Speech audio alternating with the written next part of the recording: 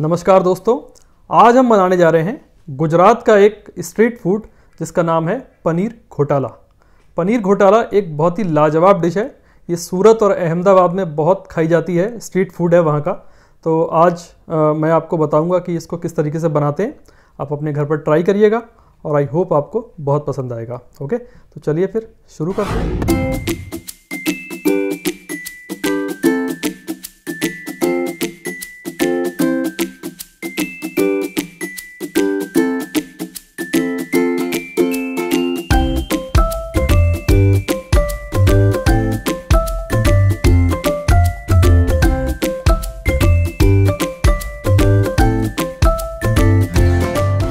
पनीर घोटाला बनाने के लिए जो बेसिक सामान हमको चाहिए, वो एक बार देख लीजिए। ये देखिए, मैंने 150 ग्राम पनीर लिया है। इसको मैंने कद्दूकस से घिस लिया है इस तरीके से, ओके? और ये मैंने 50-60 ग्राम चीज़ लिया है। ये ग्रेटेड चीज़ है। अगर आपके पास ग्रेटेड नहीं है पीसेज में है तो आप उसको भी कद्दूकस से घिस सकते हैं, ठीक है? और ये दो टमाटर मैंने लिए हैं। इनको मैंने रफली चॉप कर लिया है। एक प्याज लिया है। उसको मैंने छोटा छोटा चॉप कर लिया है। फाइन चॉप किया है। और ये मैंने आधी शिमला मिर्च ली है, इसको भी मैंने फाइन चॉप किया है, ठीक है? शिमला मिर्च आप किसी भी कलर की ले सकते हैं। और ये मैंने दो अदरक के टुकड़े लिए हैं, ये और ये मैंने दो गार्लिक के टुकड़े लिए हैं, ठीक है? और इसके अलावा हमको थोड़ा सा दूध और थोड़े से तेल की ज़रूरत पड़ेगी। और अब मैं आपको बताता हूँ कि हमें मसाले कौन से लेने हैं। ये देखिए, खड़े मसालों में मैंने ये एक टीस्पून जीरा लिया है, दो इलायची ली है, तीन चार लौंग ली है, एक तेज़पात का पत्ता लिया है। और इसके अलावा हमने हाफ़ टी स्पून गर्म मसाला लिया है और दो टी स्पून कसूरी मेथी ली है, ठीक है? अब मैं आपको बताता हूँ कि हमें मेन मसाले कौन से लेने हैं। हम सारे मसाले वही लेंगे जो आपके घर में नॉर्मली होते हैं। कोई भी एक्स्ट्रा हम मसाला यूज़ नहीं करेंगे, ठीक है? तो अभी मैं आपको बताता हूँ कैसे हमें मेन मसाले बनाने ये देखिए, अब मैं आपको बता रहा हूँ कि हमें मेन मसाले कैसे बनाने हैं। तो इसमें देखिए, दो टी हम धनिया पाउडर लेंगे और हाफ़ टी स्पून जीरा पाउडर लेंगे। वन फोर्थ टी स्पून हल्दी, एक पिंच हींग, वन टीस्पून कश्मीरी लाल मिर्च कलर के लिए। ये बिल्कुल भी तीखी नहीं होती है, सिर्फ़ कलर के लिए हम इसको इस्तेमाल कर रहे हैं, ओके? और वन फोर्थ टी स्पून लाल मिर्च। अगर आप चाहें तो तेज़ खाते हैं मिर्च तो आप ज़्यादा भी ले सकते हैं, ओके? अब देखिए, यहाँ पर मैं थोड़ा सा इसमें पानी मिलाऊँगा और इसको हम अच्छे से मिक्स कर लेंगे। तो देखिए, अगर आप मेरे वीडियोस देखते हैं तो मैं आपको हमेशा ये सजेस्ट करता हूँ कि मसाले आप इसी तरीके से बनाया करें। इससे काफ़ी अच्छा फ्लेवर आता है और मसाले आपके जलते भी नहीं हैं। ठीक है?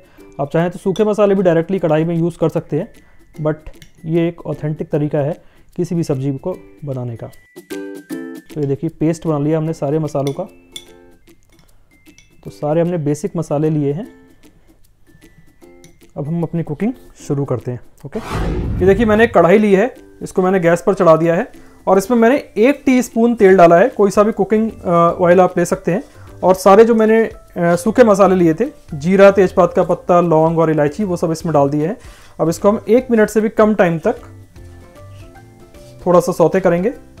बस ये जीरा थोड़ा सा चटकने लगेगा। उसके बाद हम आगे की कुकिंग शुरू करेंगे। ओके? और उससे पहले एक मैंने मिक्सर लिया है ये। इसमें मैंने टमाटर डाले हैं। और जिंजर डाली है और लहसुन के टुकड़े डाले हैं जो हमने चॉप करके रखे थे।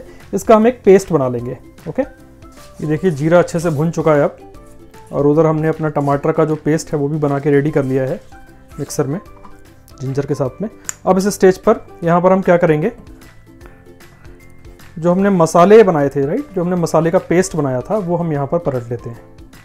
ये जो हमने पेस्ट बनाया था, राइट? इसको हम यहाँ पर पलट लेंगे। गैस को हमने मीडियम रखना है और ये देखिए हमने सारे मसाले पलट लिए हैं, थोड़ा सा रह गया है, इसको भी पानी डालकर पलट लेंगे इसमें। ये देखिए हमने सारे मसाले मसाले का जो पेस्ट है वो इसमें डाल दिया है। अब इसको हम अच्छे से भून लेंगे। अब देखिए अगर यहाँ पर आप सूखे मसाले डालते हैं तो वो इतने अच्छे से इसमें नहीं भून पाते हैं, क्योंकि वो जलने लगते हैं। बट क्योंकि ये पेस्ट है तो इसको हम अच्छे से भून सकते हैं, जिससे सब्ज़ी में अच्छा फ्लेवर जाएगा इसका। ये देखिए मसाले हमारे अच्छे से भूनने लगे इसको बस मैंने एक मिनट तक इस तरीके से भुना है मीडियम फ्लेम पर ओके अब यहाँ पर हम, हमने जो अनियन लिया था, वो डाल देंगे। अनियन सारे हमने डाल दिए। अब थोड़ी देर हम, दो से तीन मिनट तक अनियन को इसमें स्टर करेंगे।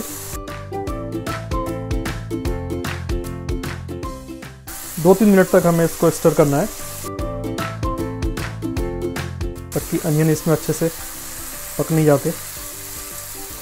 और देखिए अनियन हमारे सॉफ्ट होने लगे और इसी स्टेज पर हम क्या करेंगे? हमने जो शिमला मिर्च ली थी, वो भी यहाँ पर डाल देंगे। शिमला मिर्च को भी हम इसमें पका लेंगे, अनियन के साथ में। ये देखिए, एक मिनट मुझे हो गया है।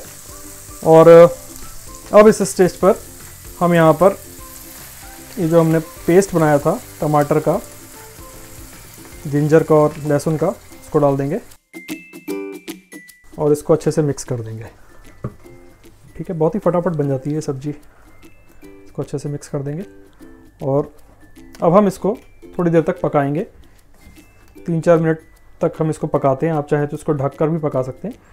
और इसी स्टेज पर हम यहाँ पर 1.5 टीस्पून नमक मैं यहाँ पर डालूँगा। ये टमाटर को गलने में भी हेल्प करता है और सब्ज़ी में टेस्ट भी आता है इससे राइट आप चाहें तो अपने स्वाद के अनुसार कम ज़्यादा कर सकते हैं नमक को। ये देखिए, नमक को मैंने अच्छे से मिक्स कर दिया है इसमें। अब हम इसको आराम से तीन चार मिनट तक पकाएँगे। टमाटर जब तक बिल्कुल अच्छे से पक नहीं जाते इसमें, आप चाहें तो इसको ढाक भी सकते हैं, ओके? ये देखिए, मुझे दो मिनट हुए हैं अभी इसको पकाते हुए। टमाटर काफ़ी पक चुके हैं। अभी दो तीन मिनट हम इसको और पकाएँगे। उसके बाद फिर हमारे टमाटर अच्छे से इसमें गल जाएँगे, ओके? और इसके साथ ही मैंने ये जो कसूरी मेथी ली थी, इसको एक तवे पर इस तरीके से रोस्ट कर लिया है और इसको हम क्रश कर देंगे। जैसे मैं आपको हमेशा बताता हूँ राइट इससे क्या होता है, इसका फ्लेवर एकदम ट्रिगर हो जाता है और काफ़ी अच्छी लगती है ये सब्ज़ी में। तो इसको इस तरीके से हम रोस्ट करके और क्रश करके सब्जियों में यूज़ करते हैं, ठीक है? ये देखिए, इसमें आप देख सकते हैं, इसका तेल जो है सेपरेट होने लगा है, ऊपर आने लगा है और टमाटर प्याज अच्छे से हमारे पक चुके हैं। मैंने इसको चार से पाँच मिनट तक पकाया है मीडियम फ्लेम पर। ओके, ये देखिए। जब इसमें से तेल ऊपर आने लगे तो समझ लीजिए ये पक चुके हैं। अब इस स्टेज पर हम क्या करेंगे? हम यहाँ पर थोड़ा सा दूध लेंगे। आधा कप दूध लिया है और उसको इसमें डाल देंगे। और फटाफट चला देंगे। आप चाहें तो दूध की जगह पर मलाई भी ले सकते हैं आधा कप, आप चाहें तो क्रीम भी ले सकते हैं। ठीक है? लेकिन मैंने दूध लिया है। जिससे कि सब्ज़ी आपकी ज़्यादा हैवी नहीं होगी और आपके डाइजेशन में ज़्यादा आपको नुकसान नहीं देगी। इसको हम पकाएँगे दो मिनट तक। अब ये देखिए, इसी स्टेज पर हम इसको दूध के साथ पका रहे हैं। ये जो हमने कसूरी मेथी रोस्ट करके रखी है क्रश करके, इसको हम डाल देंगे इसमें। ओके इसको मैंने पलट लिया है। इसको हम इसमें चला देंगे। मिक्स कर देंगे अच्छे से। और यहीं पर ये जो गरम मसाला है, ये हम डाल देंगे। ओके, जो हमने हाफ़ टी स्पून गर्म मसाला लिया था, और इसको भी हम अच्छे से मिक्स कर देंगे, ओके? ये देखिए, मुझे दो तीन मिनट हुए हैं इसको इस तरीके से पकाते हुए दूध के साथ, और ग्रेवी हमारी ऑलमोस्ट रेडी है। आप देख सकते हैं इसमें से तेल अलग होने लगा है, इसका मतलब ग्रेवी हमारी रेडी हो गई है।